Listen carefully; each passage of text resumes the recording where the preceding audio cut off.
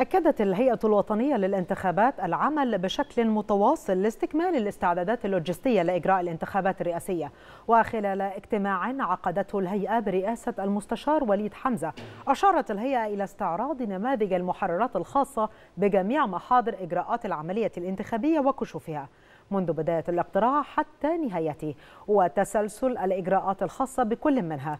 كما استكمل مجلس إدارة الهيئة مناقشاته في شأن القرارات المنظمة الواجب إصدارها أو تفعيلها استعدادا للاستحقاق الانتخابي المقبل. وكذا التصورات الخاصة بالجدول الزمني للانتخابات والإعلان عن موعدها قريبا في ضوء أحكام الدستور والمواقيت التي تم تحديدها في هذا الشأن. إلى ذلك وقعت الهيئة الوطنية للانتخابات بروتوكول تعاون مع الهيئة القومية للبريد بهدف تنظيم وتسهيل عملية نقل مواد ومستلزمات العملية الانتخابية في عموم الجمهورية من خلال هيئة البريد.